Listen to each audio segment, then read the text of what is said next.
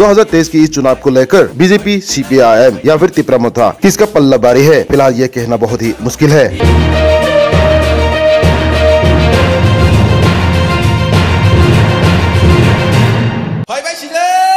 North east Tripura का विधानसभा चुनाव जितना नज़दीक आ रहा है उतना ही तृतीय क्षेत्र में उत्सुकता बढ़ते हुए नज़र आ रहा है। 2023 के इस चुनाव को लेकर बीजेपी, सीपीआईएम या फिर तिपरा मोथा किसका पल्ला बारी है? फ़िलहाल ये कहना बहुत ही मुश्किल है। क्योंकि त्रिपुरा विधानसभा की कुल मिलाकर सात सीटें हैं, जिसमें नौ सीटें एससी का है और एसटी की सीट है 20 बाकी के इकतीस सीटें जनरल का है। 2023 की त्रिपुरा की इस विधानसभा की चुनाव को लेकर टीटीएडीसी यानी कि Tripura tribal autonomous district council में त्रिपुरा मोथा, ग्रेटर त्रिपुरा लैंड की मांगे को लेकर पल्लाबारी दिखाई दे रहा है।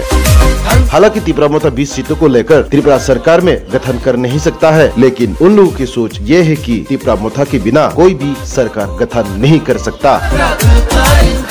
और बबाग्रा प्रद्युत विक्रम किशोर मरिक्या के द्वारा ये कहा जा रहा है कि कोई भी अगर ग्रेटर त्रिपुरा लैंड की मांगे को लेकर लिखित में जब तक सपोर्ट नहीं करेगा, तब तक त्रिपुरा मोथा किसी भी अन्य पार्टी से गठबंधन नहीं करेगा। फ़िलहाल आप लोग देख रहा है कोक्त मकौक हिंदी।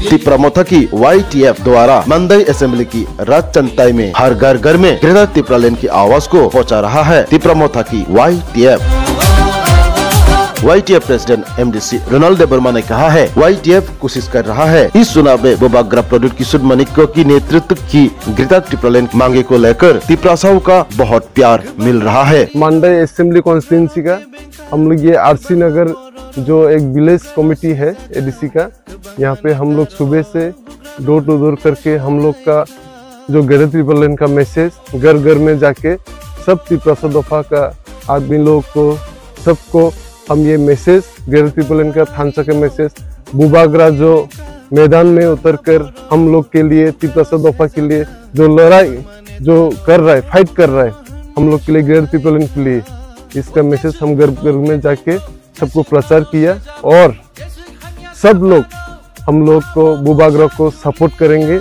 ये अपकमिंग जो इलेक्शन है अपकमिंग जो फाइट में बुबागरा को 100 परसेंट सपोर्ट करके वो लोग जिताएँगे